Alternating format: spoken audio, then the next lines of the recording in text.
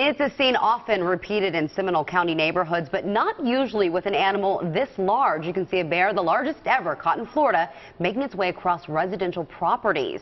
It's been months since Seminole County kicked off a voluntary program where residents can discourage bears by locking bear-resistant trash cans. It's estimated that roughly 20,000 homes are being impacted by roaming bears, but 2's Dave McDaniel found out as of today, only 344 people have signed up for the program.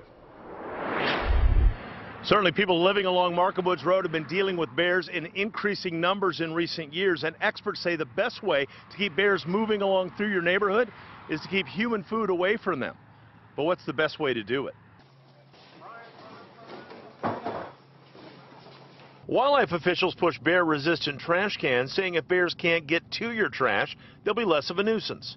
We have had bears in the community wandering around, but they don't stay. A local attorney crafted a bear aware policy for his neighborhood, a place where one of his neighbors was badly hurt by a bear.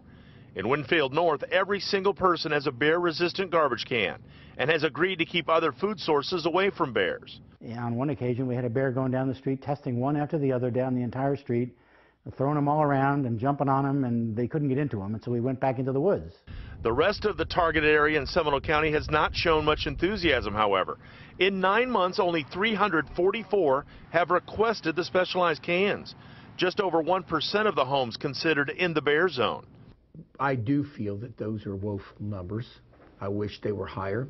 Commissioner Lee Constantine isn't ready to push for a mandatory program, hoping people can be convinced about the bear-resistant cans. And there's no question that it would be beneficial to the human uh, element as well as the bear element.